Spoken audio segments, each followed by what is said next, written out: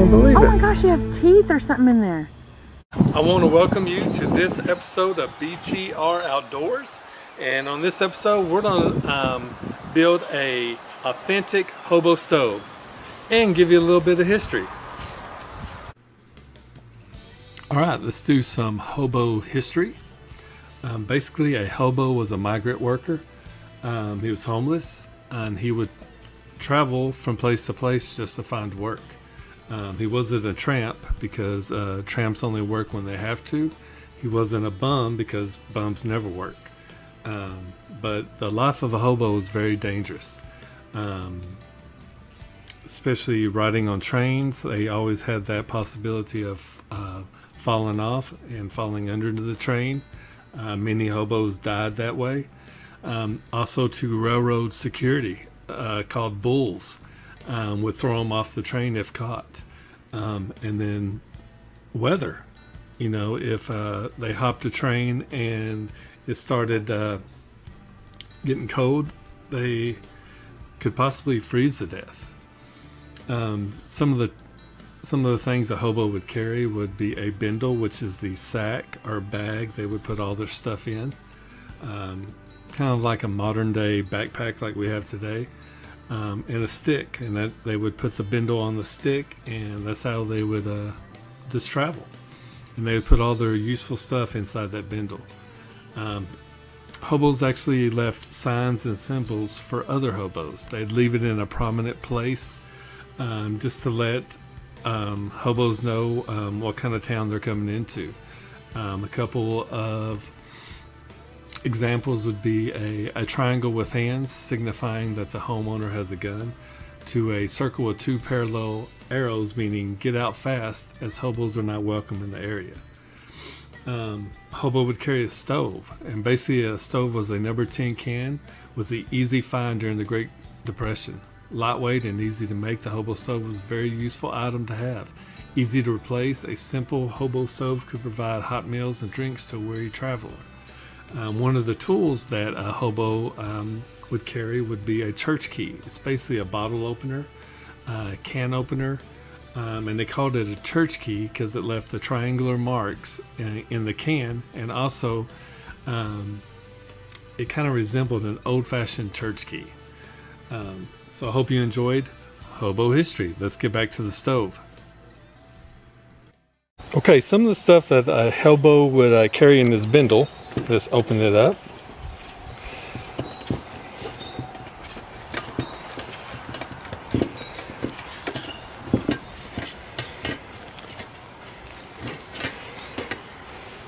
Is of course the stove.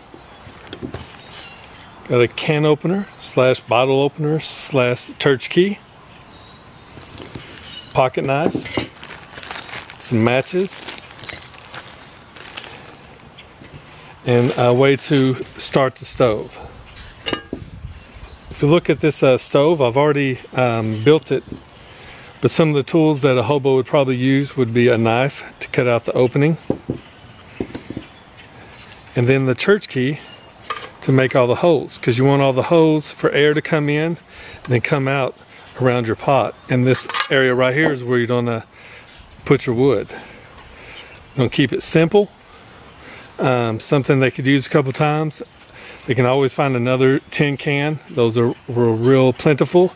Um, but yeah, this is something real simple that a hobo would carry, and uh, it's and it really works really good and we're going to test it out okay just for fun um, if you remember last time in the modified hobo stove we used some uh, dryer lint and this makes a real good fire starter as you saw last time um, also to make a good campfire is you stuff it in these uh, toilet paper um, rolls stuff it with your lint, set it on fire, and that will start real good campfires. But uh, today we're going to try another uh, fire making technique. Is I took um, cotton balls and uh, wiped petroleum uh, jelly on them, and we're to light those. I've heard they worked really good. I've never tried it, but that's how we're to start the fire in the hobo stove today. All right, so let's take our cotton ball.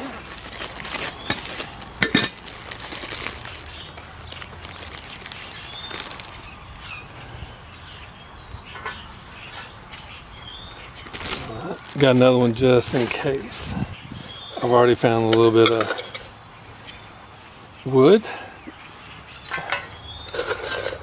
Put this over the uh, cotton ball. I broke these up um, as tiny as I could.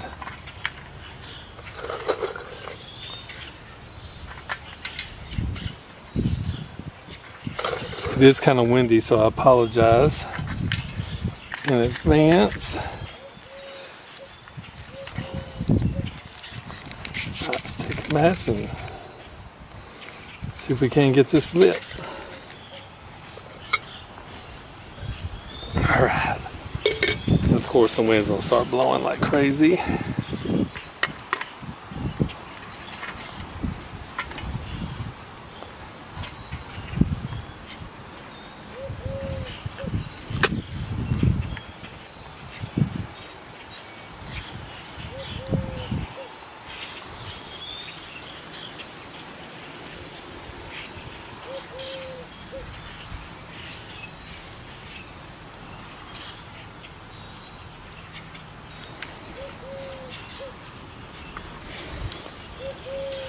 We'll see if it goes.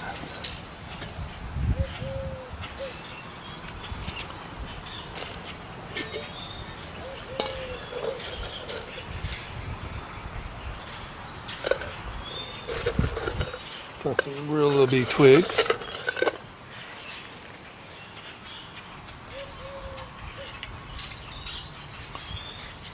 Come on.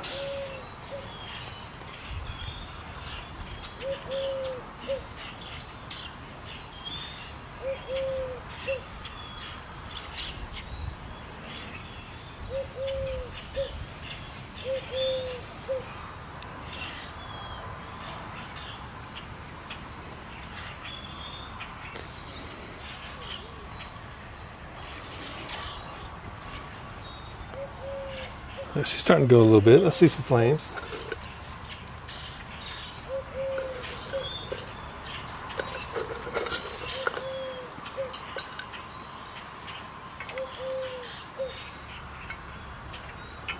There we go.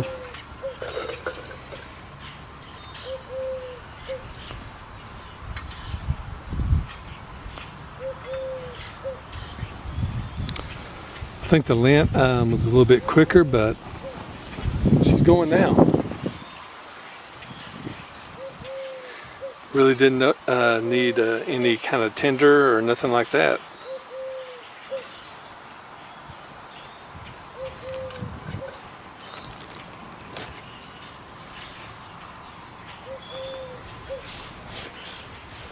Of course, a hobo would probably use some uh, paper or something like that to get it started. But this shows you just how simple the process would be. You don't need nothing fancy um, like the last one I built. Um, this is just so- something simple. This literally took me um, five minutes to make. Um,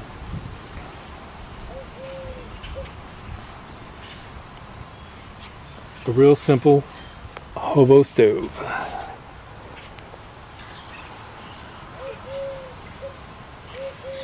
She is catching good now.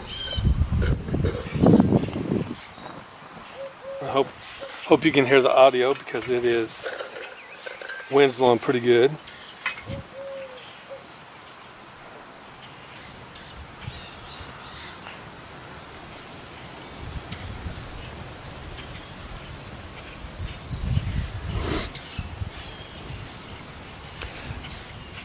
Like I said, it's real, real important to have holes all the way around the bottom and all around the top.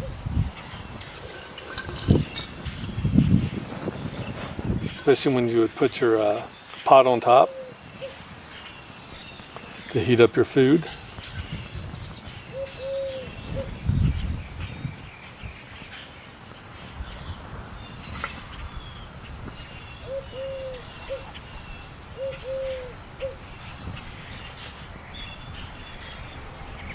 But a real simple process.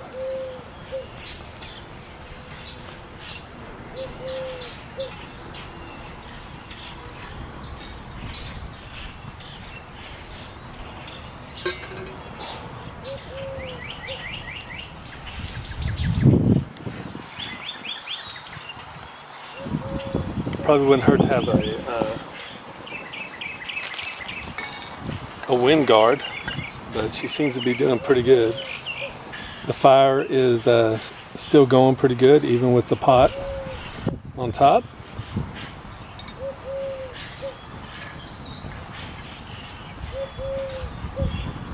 And through this big hole, you can still um, keep feeding some fire.